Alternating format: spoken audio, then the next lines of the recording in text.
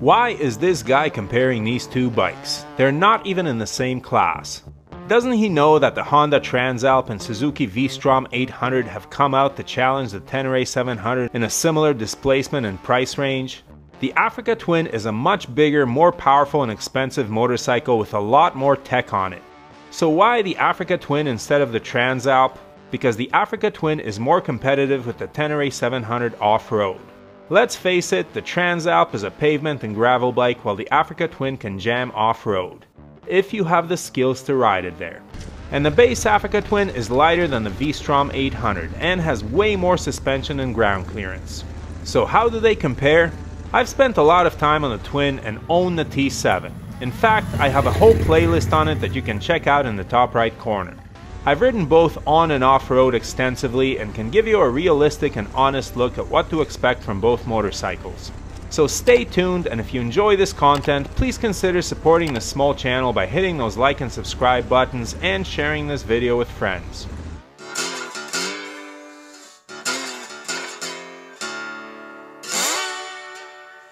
First, let's face it, these motorcycles are not comparable in terms of price, power, and technology. The base Tenere 700 costs 10,500 US dollars or 13,500 Canadian. Now if you live in Europe, you may have a choice of four more models which are pricier. Check out my Tenere 700 buyer's guide in the top right corner. However, the most expensive T7, the World Raid with the dual tanks and fancy suspension, is still less pricey than the Africa Twin which runs 14,500 US, never mind the bigger Adventure Sports model at 17,300. Side note, in this video I'll primarily discuss the base Africa Twin, However, I have more footage of me riding the Adventure Sports which is why you'll see more of that bike. The T7 and Africa Twin do share many similarities. Both are Japanese, extremely reliable 270 degree parallel twins, sport 21 inch front and 18 inch rear wheels, and are off-road oriented adventure motorcycles which are a bit smaller and lighter than the competition and despite the Africa Twin being quite a bit pricier, both are a good value for what you get, because you pay more for the Honda, but you also get more. Power-wise, the Honda is up on the Tenere in displacement, 1084cc to 689cc, horsepower 101 to 74, and torque 77 to 50.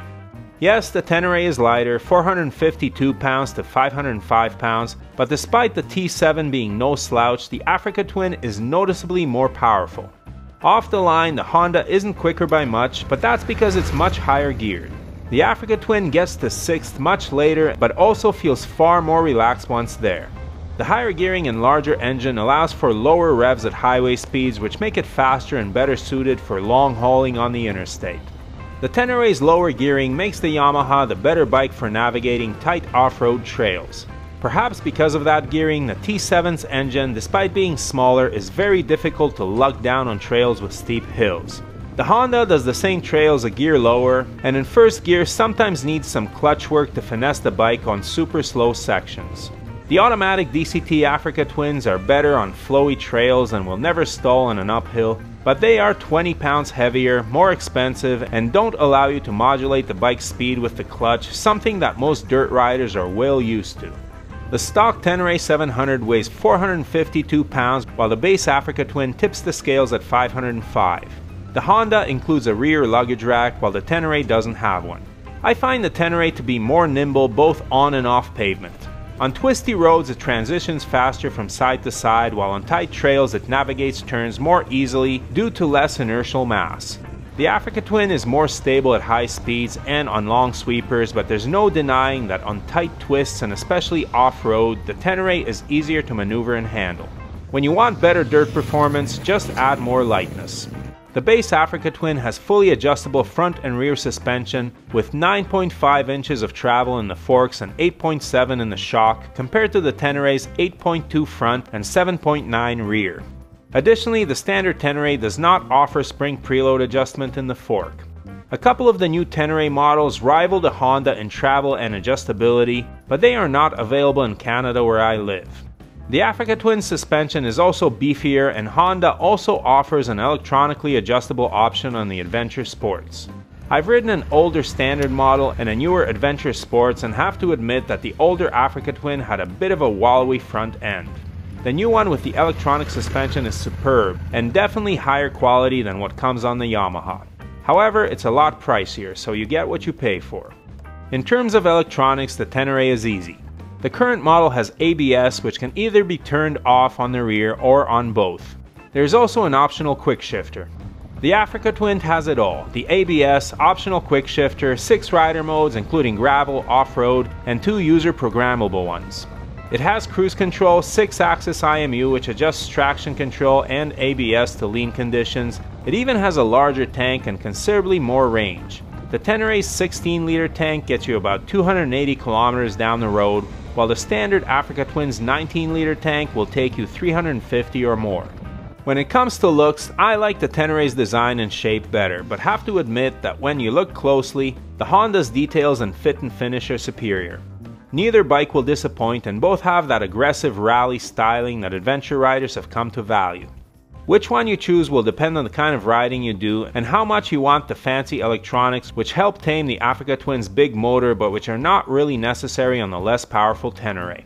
On the road, it's no contest. The Africa Twin is better at almost everything.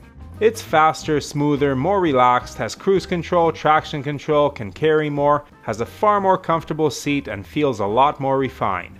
If you're trying to blast an extremely twisty road like the Tail of the Dragon in the Smoky Mountains, the Tenere might fare better because it's lighter. Everywhere else, speed, comfort, refinement, electronic amenities, the Africa Twin wins.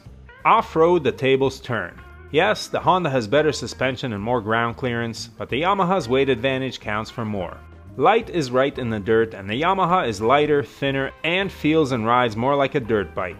Its suspension is adequate for all but the most aggressive riders, and if you're going to go nuts off-road, you should really be on an enduro, not an adventure bike. The Yamaha is still good on pavement, not as good as the Africa Twin, but close enough, and it's $4,000 less you can get riding gear and a whole whack of accessories for less than that. So which one is better? If you're going to have only one bike and you will be banging around off-road frequently, the Tenere is the better choice. If you are looking to tour and still maintain some good off-roading capability, the Honda wins.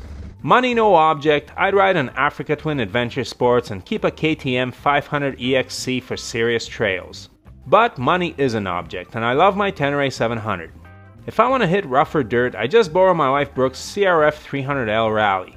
So I hope that helps. There are a lot of channels out there doing spec sheet comparisons which aren't very helpful.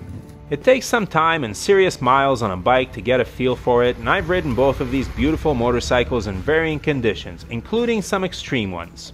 If you're as fond of Japanese reliability as I am, and you want a big adventure bike that can deal with some serious off-road action, these are your two best bets. Which one you choose will depend on your budget and priorities, though honestly, you can't lose with either. Which one are you leaning towards and why? Please leave your thoughts in the comments below and adventure on.